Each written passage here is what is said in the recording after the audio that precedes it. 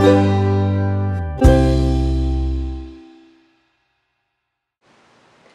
everybody and welcome to Polka Dot Pots. I'm Erin Racioppi and today I'm going to show you how to paint this penguin bank in three easy steps.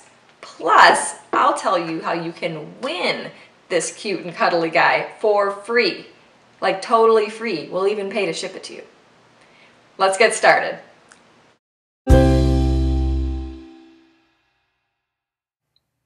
First, I'm going to paint the face and the belly white. We always recommend using light colors first and then dark colors. This is because the darker colors will cover up the lighter colors.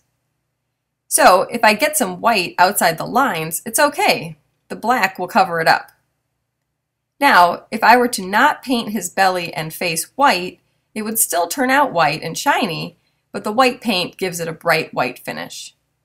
Remember to use three coats of paint. Because I'm working from light to dark, orange is next. I'm applying three coats of paint to the beak and feet. Painting the beak and not getting any orange on the face can be tricky. A tip is to use a flat brush to help get a crisp line between the beak and the face. If you get any orange on the face, for example, ask a Polka Dot Pots team member for help. They are rock stars and can generally fix mistakes.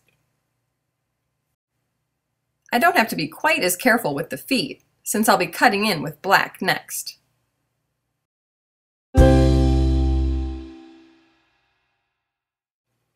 On to the darkest color, black. I'll start with a small flat brush to cut in along the edges of the other colors, white and orange in the case of this cute little penguin. To cut in in tight spaces, line the flat edge of the brush up against the edge of the other color and brush away. Next, I'll use a larger brush to cover the rest of the body, since it's faster. Again, three coats of paint will give you a nice solid finish.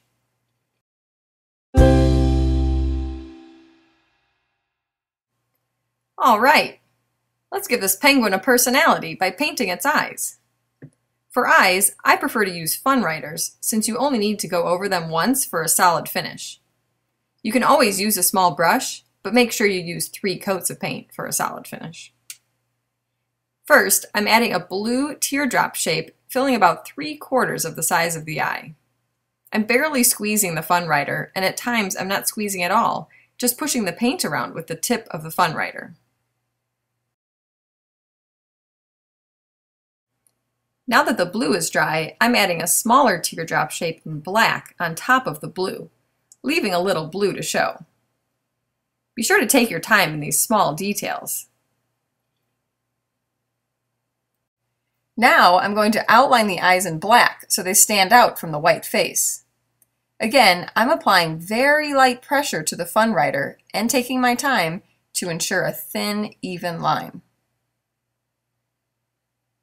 I'm amazed at how well this little guy is holding still. He's not even blinking.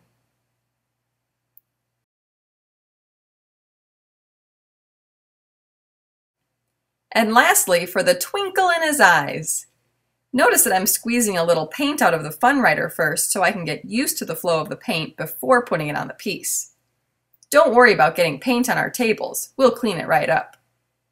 I'm going to add a small white dot to the upper right corner of each eye. Use two coats of paint here since we are applying it on top of black.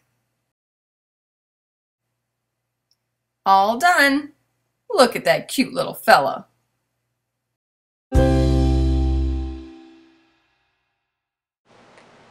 And here's the finished product. Check out how the black turned from a chalky grayish color to this vibrant shiny black. It's pretty awesome. It's as if he took his tux to the cleaners. Okay, now it's time to give away this penguin bank.